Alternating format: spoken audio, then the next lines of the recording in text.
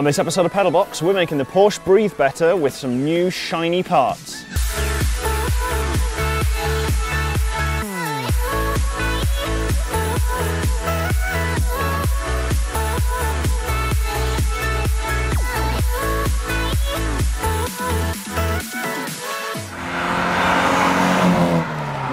Yes, this time we're doing upgrades rather than maintenance to the 944 and adding a shiny stainless steel exhaust because the centre section that's on there at the moment is a little bit rusted and has a bit of a dodgy weld, so why not replace the whole thing? And in addition to that, we're going to add a K&N filter to the front end because... Well, just reasons, really. I've always Yeah. wanted one. Yeah, I've never had a K&N filter either. I've got a clone on the Mark II, but why not have the genuine article? Well, there are reasons why you wouldn't. Yeah, yeah, I mean like hot air. Yeah, a cone Yeah. filter without a snorkel Yeah. is just going to take hot engine bay air. but it's going to sound awesome. So this is the MAF that we've taken off the 944, and unlike most others that you find on modern cars, this is a barn door type. So it has a flap which is blown open, and you can see straight through there how that opens, and that is on a lever on a resistor. And as the flap opens more, you get a different resistance. That's sent to the ECU, and the ECU knows how much, well, roughly how much air is coming through.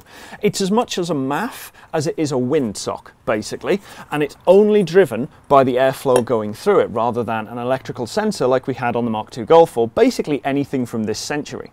So it's a very interesting different design and in order to put the K&N filter on we have this little adapter. Now this is just a little piece of machined aluminium with a flange that goes onto the front of there like that. Now the problem with this is all of the mounting brackets are attached to the airbox so we're going to have to make something to go from these bolts just in front here to hold up the bottom of the MAF. So we're going to drill, a- drill a couple of holes, fit it and then measure up for the bracket. Just before we put the MAF on, I'm going to cap off the original crankcase breather tube because we don't need that anymore.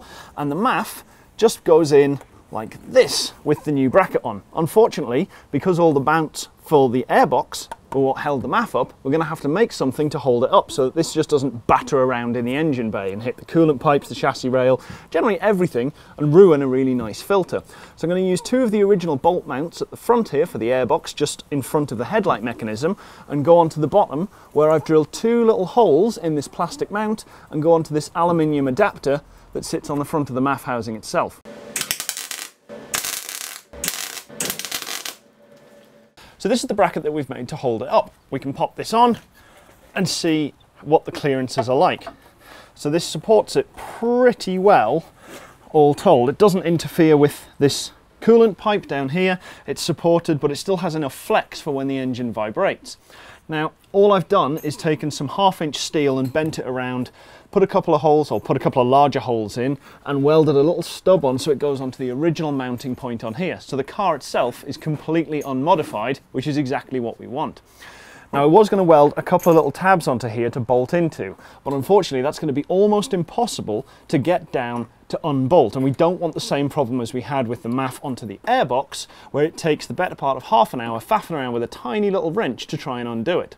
So the best way I can think of to do this is use a couple of zip ties, which I was pretty sure I'd put in my pocket, but it doesn't look like it. So I'll go and grab them.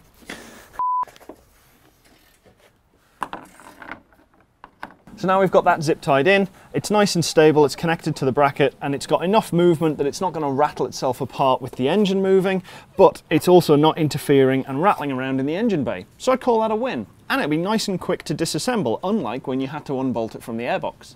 Welcome to the underside of the 944 and you can see why we need to replace the centre section. This is probably the original exhaust out of the factory and the reason we think we know that is because this downpipe that goes all the way to the headers is welded in one piece to the centre section and it breaks back here for the rear section. So unless this has been replaced with a whole section all the way forward to the downpipes, this is the original. Judging by some of the less than stellar welds that have been done to keep this alive and attached, I'm pretty certain that this is the original one. But standard operating procedure for installing a lovely stainless steel aftermarket exhaust is cutting the downpipe because this end is swaged on so you don't have to put new headers on and we're going to have to cut this just about here to be long enough to go into that swaged out section and then we'll bolt it on and the rest of it should fit on quite nicely. All the bolts have come undone reasonably well, but the ones we don't want to touch are the ones that go from the headers onto this downpipe. And that's mostly because they're corroded, also because we don't have header gaskets, but definitely mostly because they're fairly well corroded and I just don't want to get involved with that. So we're going to get something in, cut this out, and hopefully get it the right length first time. But mm, yeah, we'll see what happens.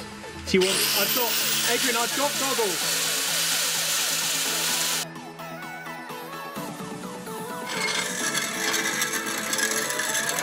So the centre section of the exhaust was pretty bad. It's the outer skin that's peeling away. Although it hasn't failed, it's not blowing, it is not good. And if you look down this end, you can see a fairly questionable weld that was put to try and keep this running. And that's pretty ugly. I mean, it works, but it's definitely pretty ugly. So we've got the exhaust cut off.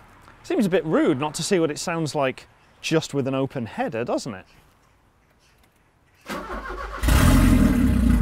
Ooh!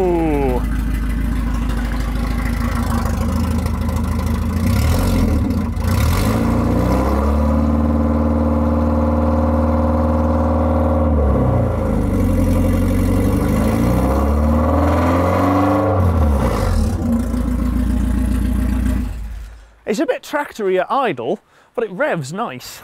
Some of the brackets holding the exhaust up are pretty rusty and at least one of them is about 50 quid to get replaced from Porsche because it's a Porsche part. So whilst we've cleaned them up and painted and they're drying, we're going to make an upgrade onto the throttle linkage. Now this eccentric cam that sits on here at the moment results in a fairly big movement actually producing very little throttle actuation because of this much longer piece that comes off and is the first part to be pulled. This is a completely circular pulley which makes the throttle actuation completely linear. So in order to take this off, we just pull this around and take this out from the index there.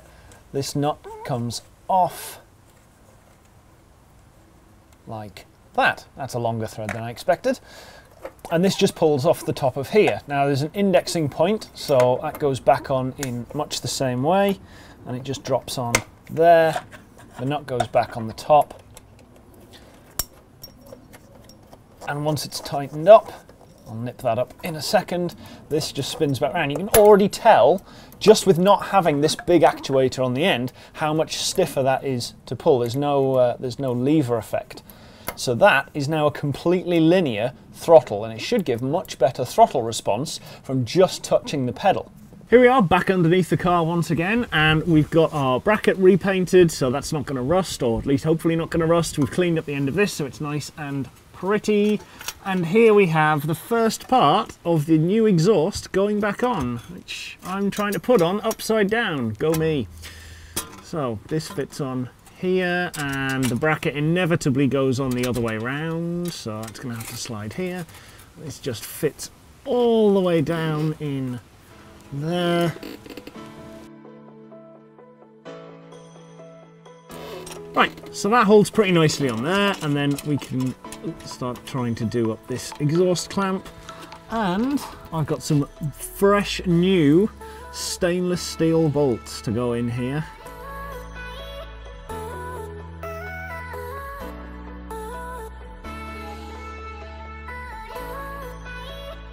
So that's nice and tight in. We'll leave these ones loose, partly because I've forgotten to bring a spanner down and partly because we still need to fasten the back in. And uh, we'll see whether this blows down here, which is a good excuse to see what it sounds like with just the one silencer on. Well, the back of the exhaust was completely uneventful and it just started to rain a bit, so we didn't get any video of it. But if you start it up, you can hear what it sounds like.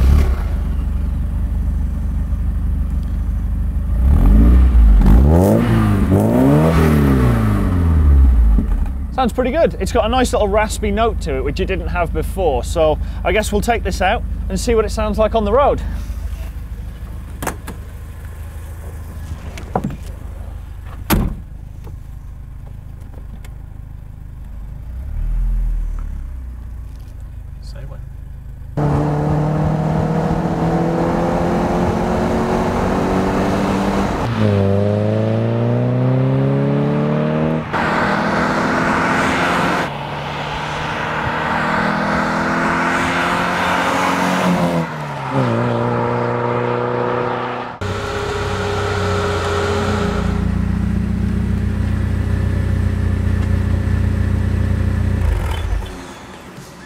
All in all, that has been a very successful day. I think you'll agree, that sounds fantastic. The exhaust is really, really nice. It's got a good rasp to it from about 3,000 to 4,500, 5,000 RPM. It just sounds stunning.